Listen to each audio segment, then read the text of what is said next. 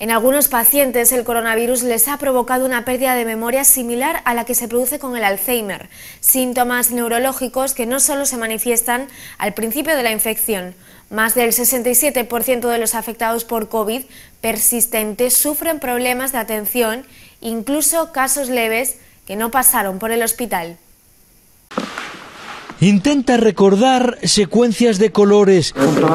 Se llama Loli, tiene 56 años Ah, y hace unos meses Cuando empezaba a ir al súper que me olvidaba de las cosas, me quedaba en blanco. Carolina, de 38, trata de repetir Se ha equivocado. listas de animales Se ha equivocado. para de nuevo disfrutar de la lectura. Leyendo un libro me daba cuenta que tenía que releerlo, o viendo una película, rebobinar. Las dos tienen algo en común. Tuve el COVID en agosto, En el mes de julio, El cuadro fue leve, un poquito de fiebre. tipo gripe. pero después, Me iba a la cocina, oye que vine. según estudios, el 67% de los pacientes con COVID persistente tienen alteraciones cognitivas. faltas de memoria, de concentración, de atención. Muchos lo desconocen. Llegué a coger algo de ansiedad. Como que me agobié bastante. Ahora lo saben y luchan por recuperarse Ejercicios de memorizar, de concentración. en esta unidad de memoria. El amarillo por encima. Quieren volver Yo noté que no era yo. a ser Correcto. ellas.